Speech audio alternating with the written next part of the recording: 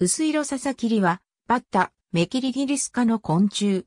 和名は、色の薄いササキリの意味。日本産ササキリアカの最普通種の一つ。日本のササキリアカの中で最も細長い体型で、体長も長い。体色は、飴色がかった淡い黄緑。または、薄い褐色。羽は、褐色で緑、または、高褐色の目立つ線が下側にあり、他のササキリより長く、よく発達し、優れた飛翔能力を持つ。メスは、健状の産卵管を微端に備える。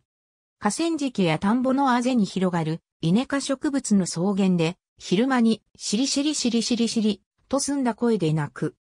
個体数が多い普通種なため、生息地では、あたり一面で鳴いているのが聞かれる。東北南部以南では、年2回成虫が見られる。また、佐々木リアカの中では最も耐寒性が強く、12月に入っても暖かい日にはしばしば成虫が鳴いている。飼育下では年を越すこともある。交尾の際、オスはメスに製法を渡す。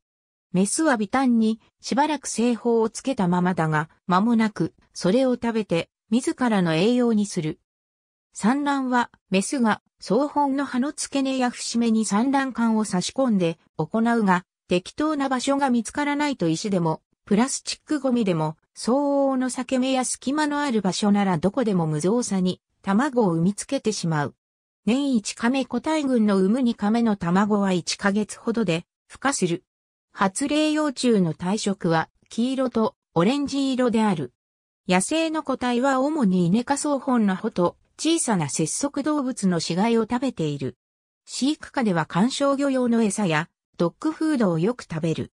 過密状態になったり、あるいは脱皮や衰弱で動きの鈍くなった仲間が近くにいると頻繁に共食いが起こる。最近の温暖化、乾燥化によりしばしば星佐々木りに置き換わっていることも多い。ありがとうございます。